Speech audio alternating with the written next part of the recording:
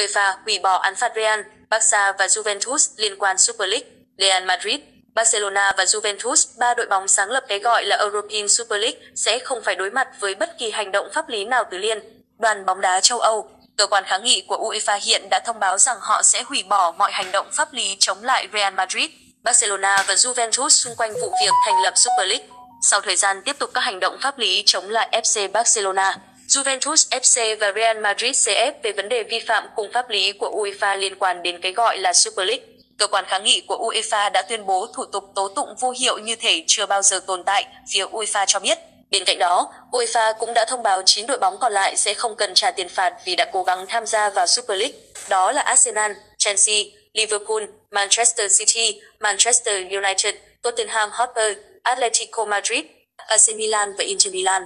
Vào tháng 5, 9 đội bóng đã đồng ý trả khoản tiền phạt tổng hợp là 15 triệu euro và thêm vào đó là 5% doanh thu các giải đấu của UEFA trong một mùa giải. Đây là động thái buộc phải làm của UEFA vì họ đã thua kiện theo phán quyết được đưa ra bởi Tòa án Thương mại Mercanti.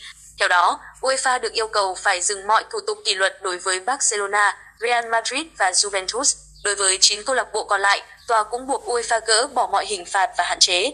Trước đó, một tòa án Tây Ban Nha cũng ra phán quyết tương tự hồi cuối tháng 6 năm 2021.